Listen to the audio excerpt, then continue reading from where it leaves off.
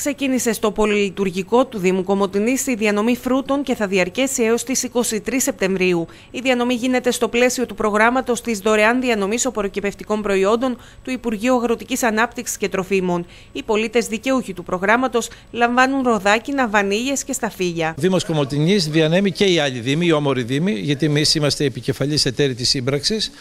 Ε, διανέμουμε τα φρούτα. Ροδάκινα, σταφύλια και βανίλιες, ή δαμάσκηνα. Ε, είμαστε, όπως έχουμε πει, έχουμε βάλει ως προτεραιότητα την κοινωνική πολιτική και ο Δήμαρχος το έχει πει αυτό, ο Γιώργος ο Πετρίδης και εγώ ως Αντιδήμαρχος. Και θα μοιράσουμε σήμερα, είναι καλά τα προϊόντα, ήρθε πρωί-πρωί η Επιτροπή, τα έλεγξε, είναι πάρα πολύ καλά γιατί αν υπήρχε πρόβλημα δεν θα τα λαμβάναμε. Και ο κόσμος ομαλά τα δέχεται και μας ευχαριστεί γι' αυτό γιατί όπως έχω ξαναπεί δεν έχουν την οικονομική δυνατότητα αυτοί οι άνθρωποι που τα παίρνουν ε, για να αγοράσουν τα φρούτα. Ούτε βανίδες έπαιρναν ούτε ροδάκινα.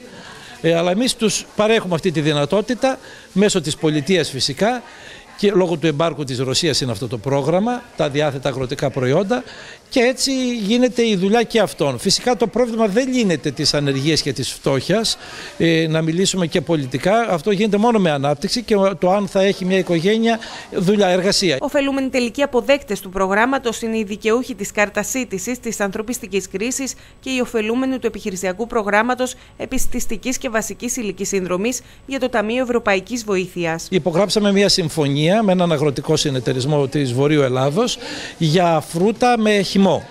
Ε, αυτό νομίζω θα ανακουφίσει πολλούς. Μιλάμε για μεγάλες ποσότητες που θα διανεμηθούν σε πολλές φορές όλο το χρονικό διάστημα που έρχεται σε όλες τις ομάδες. Οι δικαιούχοι είναι να θυμίσω αυτοί που έχουν κάρτα αλληλεγγύη, αυτοί που είναι στο πρόγραμμα ΤΕΒΑ καθώς και οι πολύτεκνοι και οι τρίτεκνοι με εισοδηματικά κριτήρια και φυσικά τα συσίτια του Δήμου Κομωτινής και όλοι αυτοί που παίρνουν, ε, που είναι σε ευαίσθητες ομάδες, άστεγοι όπως έχουμε, όλες αυτές οι ομάδες ε, δικαιούνται αυτά τα προϊόντα. Ο αριθμός των δικαιούχων στο Δήμο Κομωτινής που είναι και ο επικεφαλής για τον Ομοροδόπης φτάνει τους 12.000. Οι δικαιούχοι στο Δήμο Κομωτινής είναι περίπου 12.000.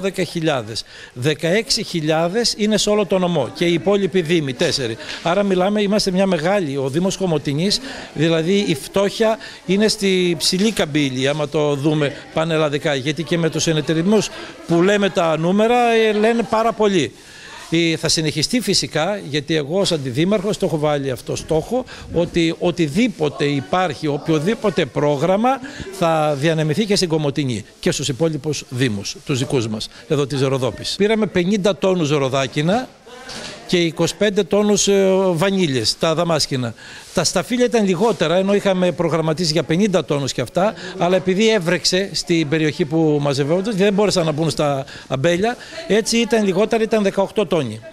Και γι' αυτό το λόγο έχουμε λιγότερα. Αλλά την επόμενη φορά θα έχουμε και άλλα προϊόντα, όπως είναι και μήλα που έχουμε προγραμματίσει να πάρουμε και πορτοκάλια.